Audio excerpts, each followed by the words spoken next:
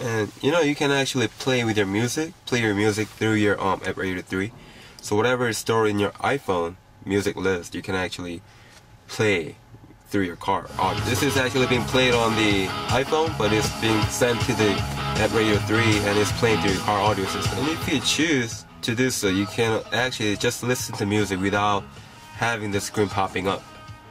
All you have to do is go to the screen and you know turn the mirror function off and it'll only play the music.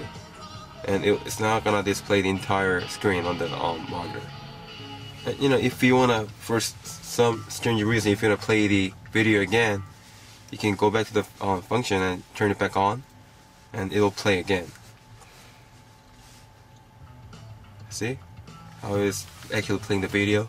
So you can turn it on and off depending on you know what you want to do.